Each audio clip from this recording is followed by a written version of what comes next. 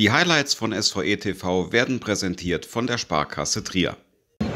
Am dritten Spieltag in der Oberliga trifft Eintracht Trier auf die TSG Pfeddersheim und ihr seht jetzt die Highlights von SVE TV kommentiert von Benjamin Judith und Ali Heinen.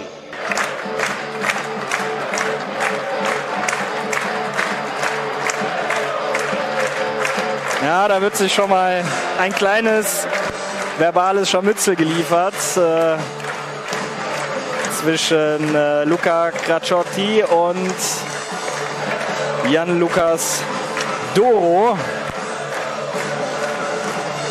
Die dürften sich auch noch kennen aus Wormser-Zeiten, wenn mich da nicht alles täuscht. Das kann sein. So. Nochmal der Gruß in beide Richtungen. So, langer Ball jetzt in die Spitze, wird abgefangen. Kein Problem von Kevin Heinz. Und Robin Garnier geht auf die rechte Seite, nimmt Spang mit und äh, der dann zu Maxim Burkhardt, der jetzt über die rechte Seite geht und nicht zu stoppen ist. Und Flanke kommt super und da ist das Tor! In der zweiten Spielminute und es ist Jan Lukas Doro, der hier den frühen Treffer markiert für unsere Eintracht und das ist jetzt mal ein Auftakt absolut nach Maß. Nicht nur in diese Saison, sondern auch in diese Partie. Und weil es so schön war, gucken wir uns das natürlich nochmal an. Können wir bitte über Maxim Burkhardt reden, was der da für einen genialen Flankenlauf macht?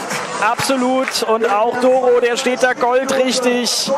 Mutterseelen allein, weil Pascal Schmidt ihn nicht im Auge hatte.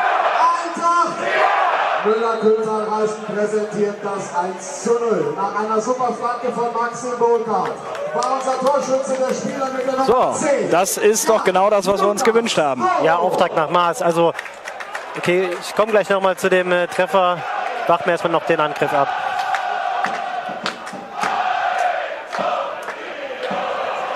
Gute Bewegung jetzt von Sven König. Der ist jetzt im Strafraum, zieht ab. Nachschuss. Und das 2 zu 0. Und jetzt klingelt es hier richtig. Keine 60 Sekunden später. Zweite Verwertung, nachdem zunächst Sven König scheitert und dann ganz trocken abgeschlossen. Und ich frage mich, wer es war, Ali. Hast du es gesehen? Matteo Biondic mit der Nummer 11 müsste es gewesen sein. Ja, und auch den Treffer. Ich glaube, Feddersheim weiß gar nicht, wie ihn hier geschieht, aber den Treffer schauen wir uns natürlich auch nochmal an. Ja, du hast recht. Es war Biondic, der hier kompromisslos abzieht und draufholzt.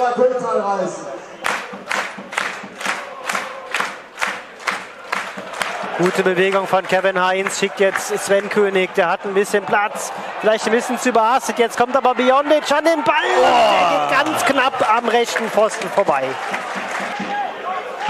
So, jetzt erstmal gucken, dass wir das sauber wegverteidigen. Der rutscht durch, nachdem äh, Kevin Heinz den nicht ordentlich klären kann, der Nachschuss.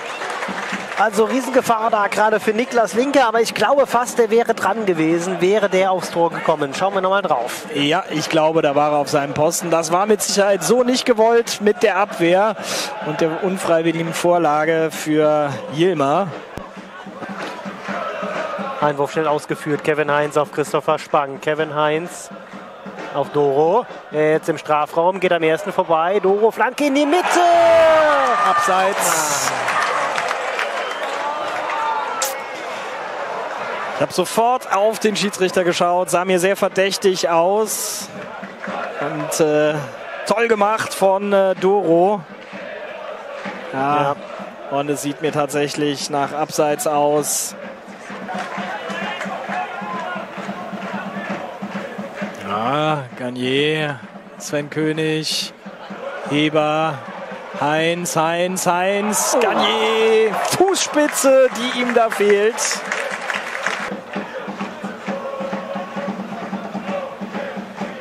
Du, was ist eigentlich aus unserer äh, Sektlieferung geworden? Der ist irgendwo anscheinend stecken geblieben oder wurde von, äh, wurde von irgendwelchen durstigen äh, Menschen abgefangen. So, jetzt erstmal Biondic. Ein Abseits angezeigt. Biondic macht es alleine und macht das 3 zu 0 in der 28. Minute. Und geht da in die Knie vor unserem Schwarzen. So, doppelte Torschütze Matteo Biondic. 3 zu 0 für unsere Eintracht. Und auch auf der Tribüne feiert man und hat sich erhoben. Und in der 28. Spielminute das nächste Tor. Und wir schauen noch mal drauf. Schöner Pass genau in den Lauf. Und dann Biondic behält den klaren Verstand beim Duell gegen Sören Petzold und biegt ab Richtung Ostkurve. Gut behauptet hier von Sven König. Kann jetzt rausgeben auf links zu Kevin Heinz. So ist es in den Lauf und Heinz in die Mitte und da ist Abseits. das 4 zu 0. Abseits. Ja, abseits gepfiffen. Getreten von äh, Sven König. Von der rechten Seite. Er kommt gut, da ist dann noch Simon Maurer. Er geht ganz knapp über die Querlatte.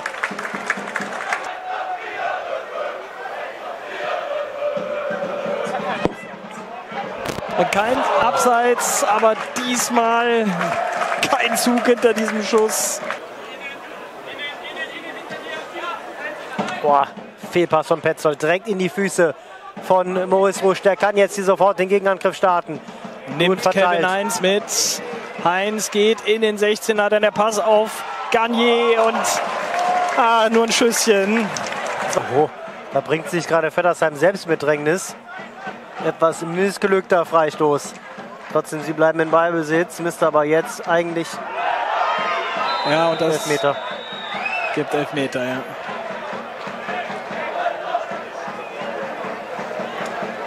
Werfen wir auch noch mal einen Blick drauf. Da kommt Linke raus aus seinem Tor. Ja, und erwischt den Mann.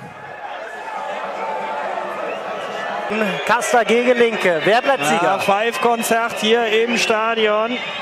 Ja, eiskalt verwandelt. Lässt er sich nicht nehmen. Minute Tor für die TSG Feddersheim zum 3 zu 1. Der Torschütze war der Spieler mit der Nummer 10, Sebastian. Thomas Glasen ist jetzt richtig sauer. Unnötig, weiß er selbst. So.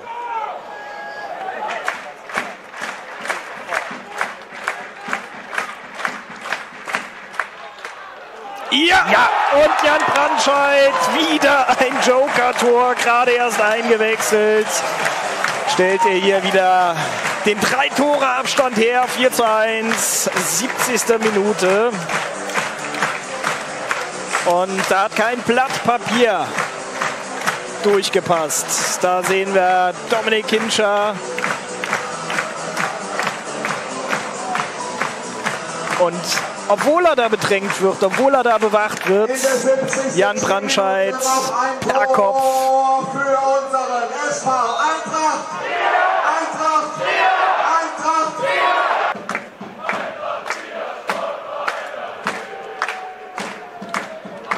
Oh, der rutscht doch mal durch. Ja, Bösen, der da auch nicht äh, kompromisslos klärt. Schöne Ablage von Brandscheid. Kinscher auf dem Weg nach vorne. Kontersituation gibt raus auf Frusch. Frusch. Oh. Und Sören Petzold wieder im 1 zu 1 der Sieger. Chancenbucher. So ist es. Da sehen wir es nochmal. Der konnte auch nicht 100% sauber gespielt. Winkel natürlich ein bisschen spitz. Aber Brandscheid, der wäre auf der linken Seite hier komplett ungedeckt gewesen. Gut durchgesetzt da von Jan Brandscheid. Wird jetzt steil geschickt, kein Abseits. Brandscheid, Brandscheid, Brandscheid! 5 zu 1. Und jetzt haben wir das Ergebnis von Mittwochabend. Und Brandy's on fire. Und auch auf der Bank sind alle happy. Und wir gucken uns das nochmal zum Genießen an. Also kein Abseits, sagt der Schiedsrichter. Hm, glaube nicht ganz korrekt, soll uns egal sein. In der 83. Spielminute noch ein Tor. Gut abgeschlossen in die linke Ecke.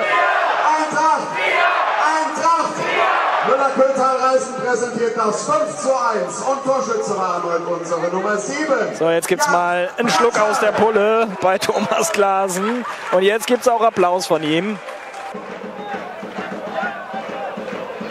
Guter Pass durch den Raum auf Kevin Heinz mit einer schönen Flanke. Und da ist Vincent Bösen und da ist das 6 zu 1. Und jetzt wird es hier richtig bitter für Feddersheim.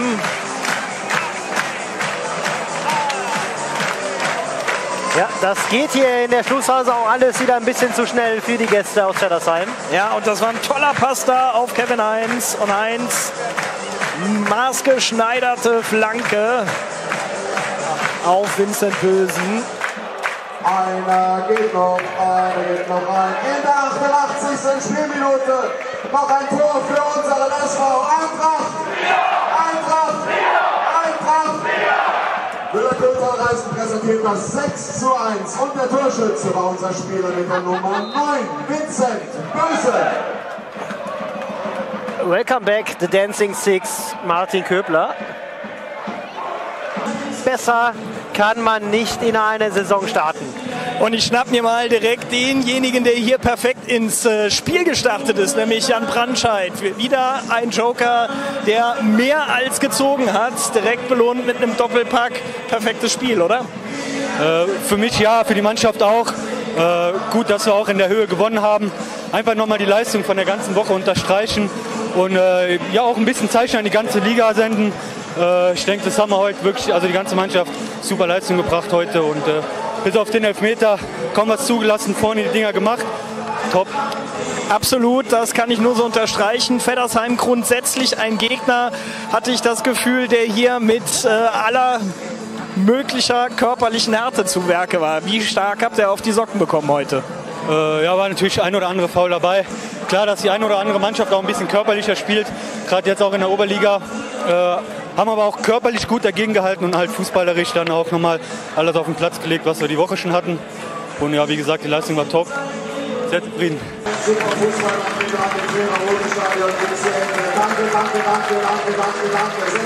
Glückwunsch zum Sieg. Leider äh, musste die Mannschaft einen Teil der Strecke ohne dich auf, auskommen. Wie geht's dir?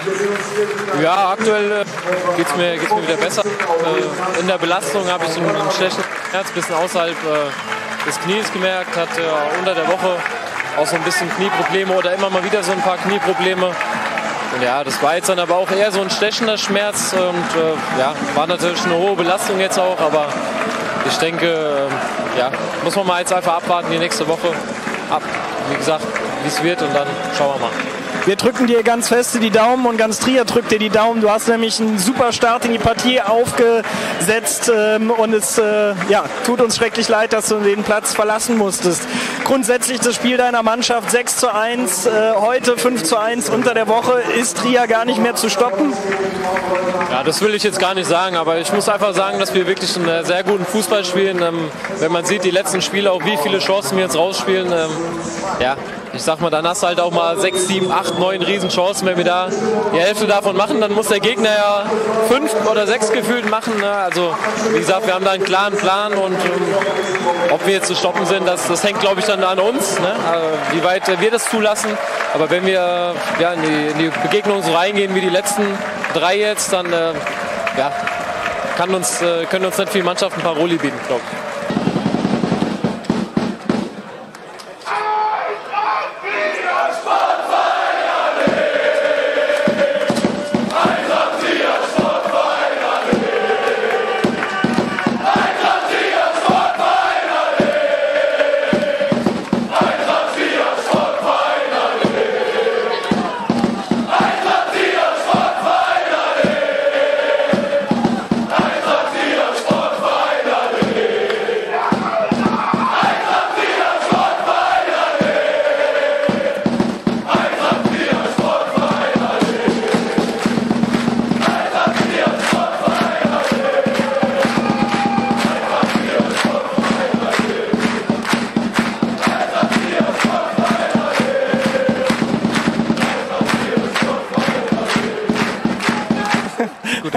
Glückwunsch auch zu diesem Heimsieg. Perfekter Auftakt in diese Saison. Englische Woche, drei Spiele, drei Siege, 17 zu 2 das Torverhältnis. Thomas, hast du das in etwa so erwartet vor Saisonstart? Nein, das wäre vermessen gewesen. Also ist, man wünscht sich natürlich so, so einen Start, also nicht, nicht die Anzahl an Toren, ähm, sondern einfach diese drei, zwei Heimspiele zu gewinnen und dann außer natürlich das Derby in Bitburg. Das ist uns sehr, sehr gut gelungen. Man hat das gemerkt letzte Woche, dieser Brustlöser, dieses 1-0 von Daniel Hammel. Und genauso haben wir dann auch auf den Rückstand in Bitburg am Mittwoch reagiert, dass einfach unser Spiel durchgedrückt haben, von Ende verdient gewonnen. Und heute hat einfach, ich habe den Jungs gesagt, es wäre mal schön, wenn wir uns am Anfang mal belohnen würden. Und das war heute auch, das ist in so einer englischen Woche dann natürlich Gold wert. Wenn du da früh in Führung gehst, der Gegner hat auch zwei Spiele in den Knochen in den letzten fünf, sechs Tagen und dann hinten raus, äh, dass wir dann einfach hungrig geblieben sind, einfach die Lust behalten haben, Tore zu schießen, den Zuschauern ein bisschen Spektakel zu bieten. Ähm, ja, das hat mir sehr, sehr gut gefallen. Das habe ich auch in der Halbzeit angesprochen, weil das, da hätte ich ein Problem mit, wenn wir jetzt da irgendwie dann Lepschers runtergespielt hätten und das 3-0 irgendwie gehalten hätten. Nein, das, das, ist genau das, was ich dann noch sehen möchte. Und jetzt haben die Jungs sich auch nach den sechs Wochen jetzt mal zwei freie Tage verdient. Sogar zwei freie Tage. Da wird der Jubel gleich nochmal aufbranden in der Kabine, wenn du das verkündest. Trotzdem hatte ich heute öfter mal den Blick auch auf dir, wieder wenig, ich glaube gar nicht gesessen. Und ähm, wie groß ist der Perfektionist in dir? Denn äh, wir haben 3 zu 0 geführt und trotzdem sah dein Gesicht manchmal so aus, als hätte es 3 zu 0 gegen uns gestanden. Ja, das ist einfach den, den Anspruch, den ich an die Truppe auch habe. Ähm, ich, ich möchte es halt akzept, nicht akzeptieren, dass wir irgendwie irgendwas mit halbgar, mit 70, 80 Prozent.